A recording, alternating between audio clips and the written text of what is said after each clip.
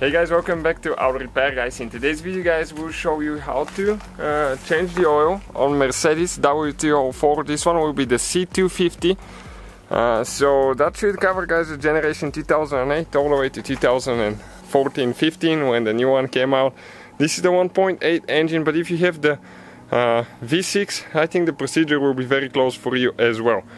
You always have to check your oil capacity, stay with us, we'll share the oil capacity and all that stuff and we'll have more than 200 videos made on this vehicle, taking everything apart from engine work to mechanical work, door panels, interior, anything you can think of. So please guys, give a like, follow us for more videos and if you need anything, drop a comment, we'll try to make a video. So let's start on it now.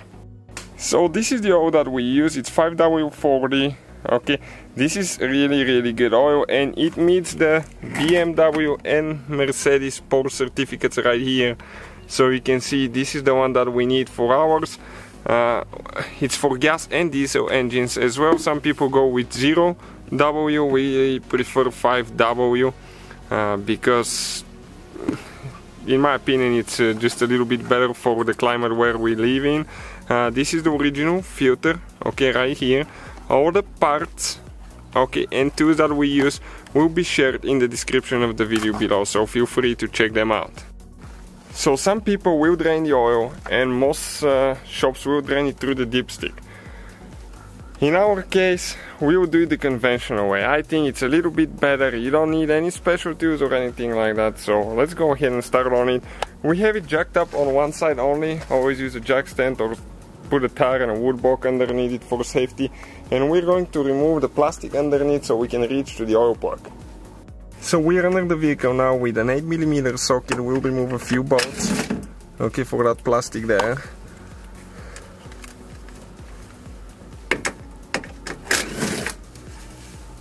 And again we'll have more than 200 videos made on this vehicle guys so please follow us, click that like button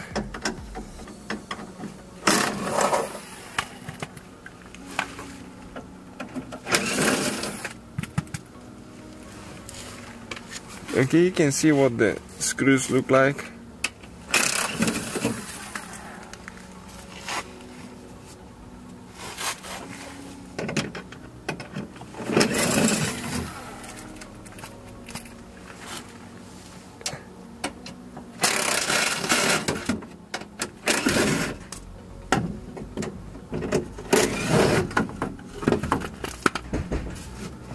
Okay, and can pull that plastic out of the way now. So now we will need a 13 millimeter socket, okay, and the drain plug. Okay, let me show you where the drain plug is located.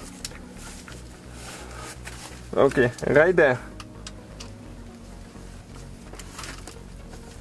Okay, we got it loose. That's next to the oil level sensor as well, you can see there. So we'll remove the plug, we'll drain the oil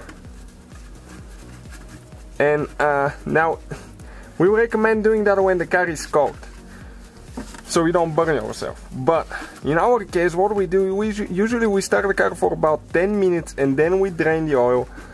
But there is a possibility that if it gets on you it can burn you or you can touch exhaust or anything like that. But it will drain a little bit better if it's warmer oil. Not too hot though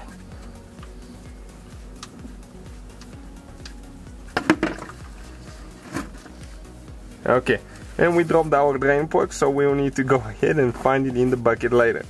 So we will let it drain for about 10-15 minutes. So while it's draining on the bottom now, we're going to go ahead and replace the oil filter. And this is uh, uh, the way it should be done because when you remove the oil filter, you will leak a little bit more oil, okay, in the oil pan. So we need to go ahead actually and do that first.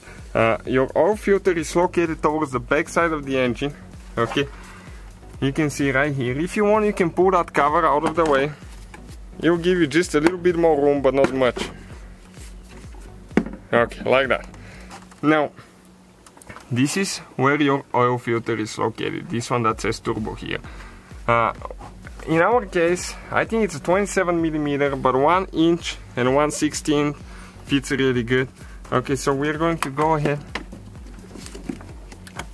get it loose now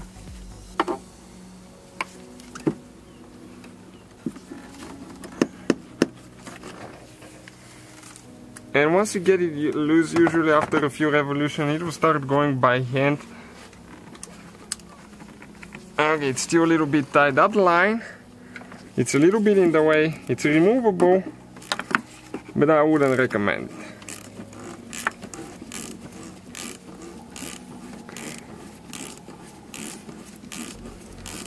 It We'll share the torque specs with you as well. Now we need to get a container because we're going to leak oil out of it. So we just get one container from water here.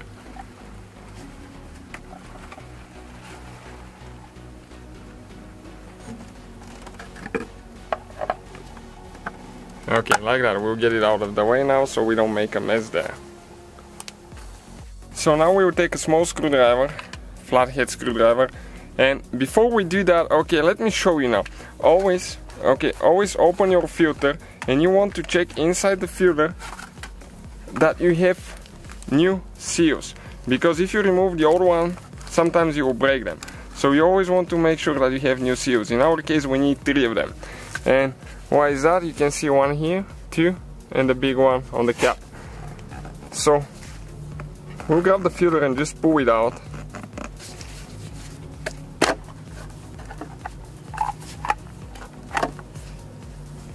Okay, and now with the screwdriver, we're going to go ahead and remove the, the O-rings one by one.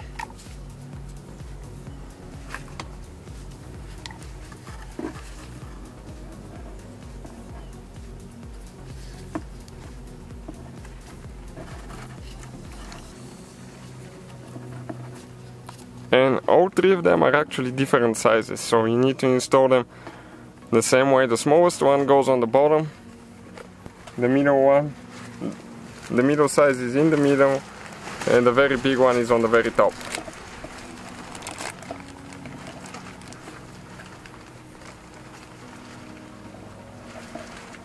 And the oil plug on the bottom of the oil pan is still open that way we can drain even a little bit more while we are doing that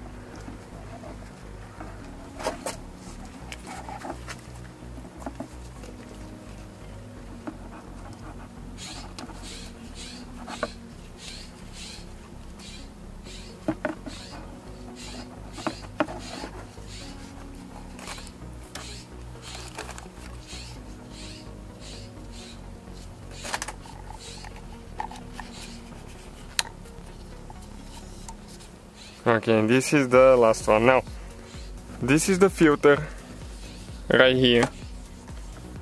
It's original Mercedes filter made in Austria. Usually what we do we put the numbers on top but I don't think it's directional filter it doesn't tell us. So you need to just push it all the way down. Okay until it's locked in place. Okay when it's installed you can see it should look like that. So now we can go ahead and install it. So on top right here you can see it says 24 Newton meters. So we're going to go ahead install it by hand now. And after that uh, we will actually use the torque wrench to torque it down. We recommend using torque wrench for everything guys.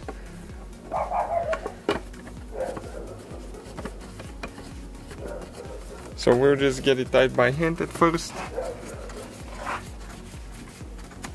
And we'll use a click type torque wrench I'll explain in just a little bit what it means and how to use it. So once it started getting tight we're going to stop.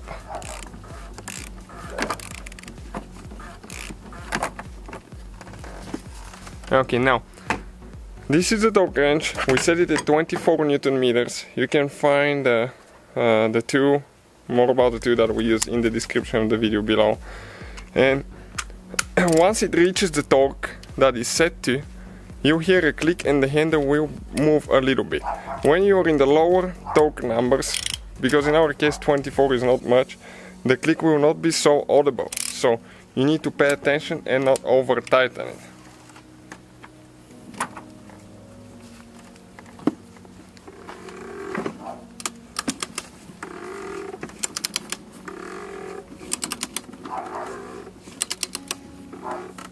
Okay, listen now for that click.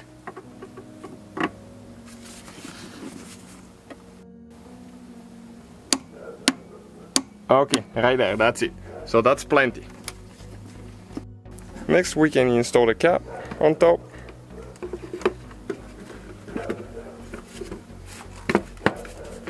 Okay, like that. So we'll put the bucket out of the way now. We will leave a small container there so we can actually find our drain plug because we dropped it inside the bucket. So it's always a good idea to recycle your oil, never throw it in the trash. That's what we'll be doing now. So we found our oil plug. That's what it looks like. Okay, you can see it has the copper washer as well. Some people replace it on every oil change. We usually do it on every other oil change. So on the second oil change we do that. Now, uh, the torque specs for this one is 22 feet per pound. So the torque, according to the manual that I found for the oil drain plug is, plug is 22 feet pound, 2 feet per pound, 22. Now in Newton meters that will be a different number so you can find uh, conversion table online but our torque wrench has Newton meters and feet per pound. So we already have our setup and uh, we're going to go ahead get it tight now. Again we'll be striving for that click out of the torque wrench and when you hear the click you have to immediately stop. Do not go more because if you strip the thread that's aluminum oil pan. And for your year and model I would recommend to check that anyways to check that this is the correct correct torque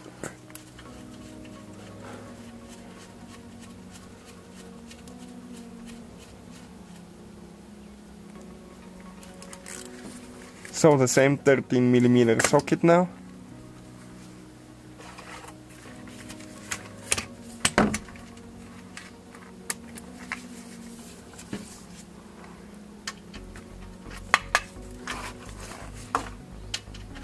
In our case, I got a smaller wrench now because it will fit a little bit better too. So let's go ahead and try that because otherwise, if you have the car on a lift, it will be really convenient. But in our case, we don't. So, okay, let's hear the click now.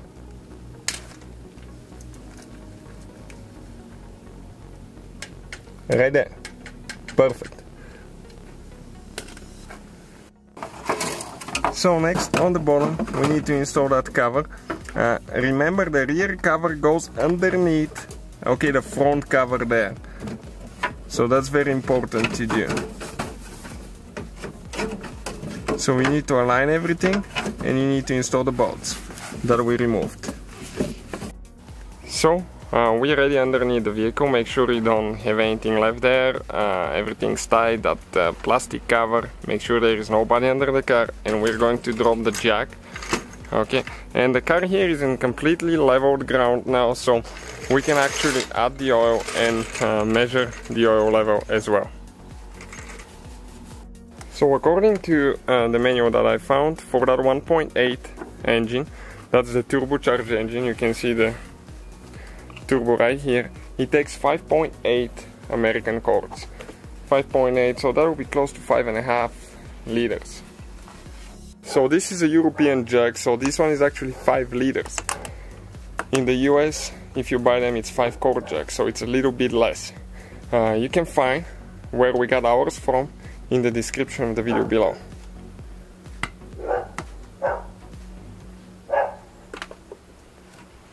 Okay really really good. And this sticker okay you can put it on the on the hood later and remind you for the next oil change.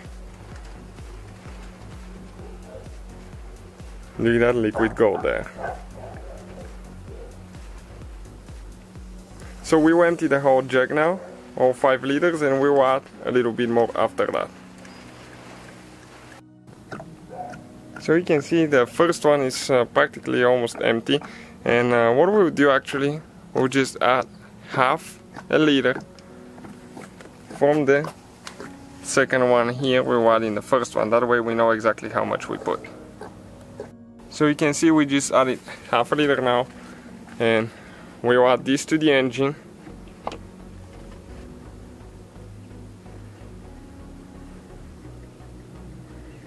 And after that now if you put a dipstick, you might notice that your oil level is too high, but do not freak out. That's uh, that's because uh, the oil filter housing and the whole oil filter assembly there it's empty. So we're going to close the cap now. Okay first let's check three things guys that we did before we actually start the car. Oil plug needs to be tight oil filter tight and the oil cap placed on fourth thing is to have sufficient amount of oil don't forget to put your oil okay so we're we're just a little bit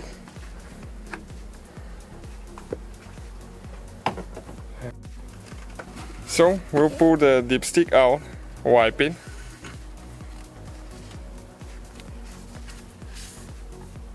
You can see completely dry now. We're going to put it in, pull it out, check the level again. And it might be too much, might not be. Okay, just barely less than the full mark. So next I'm going to go ahead, start the engine Okay, and let it run for about 30 seconds. Okay, you can see, uh, gotta make sure that you don't have oil light on or anything like that. We're going to check our mileage, okay, right here, so we can write it down on the label. And we can go ahead, turn the car off, and we'll let it sit for about uh, 2 to 3 minutes so all the oil can drain back in the oil pan and check the level again. So it's been about 2 3 minutes. Okay, we'll put the dipstick, wipe it again, check the level. And you have to make sure you don't have any oil leaks from the oil pan, from the oil filter, just look around to make sure everything's fine. Now, you can see it's a little bit less than half. So in other case, we will add a little bit more oil, we will add about half a liter more, so just to be on the safe side. Because I told you the oil filter and the oil filter housing will take some, so as a result the oil level in the pan will drop. Okay, let's just add a little bit more.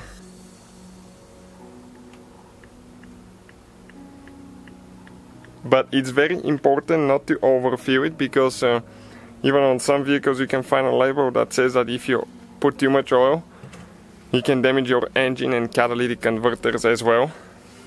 So don't do that you never want to exceed the maximum mark on the dipstick. Ours is in the middle right now. So in our case, uh, we'll just add a little bit more so we can keep it to about uh, two two thirds of the dipstick full. That will be plenty. And uh,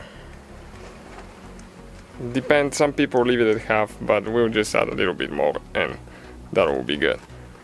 You need to give it a little bit of time to drop back in the pan, but by the time usually we wipe the dipstick and all that stuff, it will find its way down to the oil pan.